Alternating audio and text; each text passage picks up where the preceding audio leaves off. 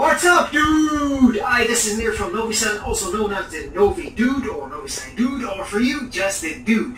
So today, this guy is going to show you some nice stuff. Carry on. Thank you to myself. So, what am I going to show you today? Wait and see. So today I'm going to show you and unbox the Minix Neo X9H. Here it is folks. Let's unbox it. So this is, this one has a quad-core processor which is Cortex A53S912H. This is why it's called Minix Neo U9H. This is why the H. Here's the piece. Now, of course, there's power supply of Minix.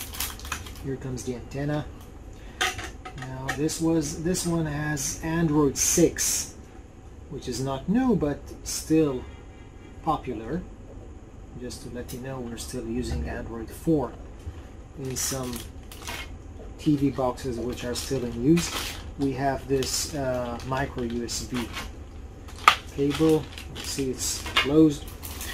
And we have this remote control HDMI cable and this is another kind of cable for um, we call it a Samsung port but this is a OTG port with a female this goes together with this one so this one has 2 gigabyte RAM, 16 gigabyte of storage, which, which is very, very nice. Also, it's dual band Wi-Fi. It has Bluetooth 4.1. And what else does it have? Well, it has RJ45 Ethernet port. This is for the power. SPDIF. HDMI 2.0 port. This one is uh, like you see this is um, audio jack and the same one for earphones now from this side you can see three uh, USB 2.0 ports one next to each other this is the power button but you can configure this unit for auto power on so we're okay with that button.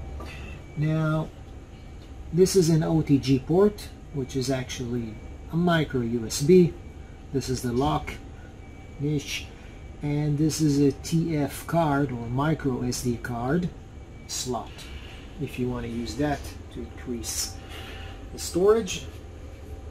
This is the power LED and this is it this is a very good and strong and powerful uh, TV box for digital signage it's not new in the market but uh, it's very very popular so this is why it's very important for me to unbox it for you so if you like to see some more unboxing and digital signage hardware videos, just check our channel.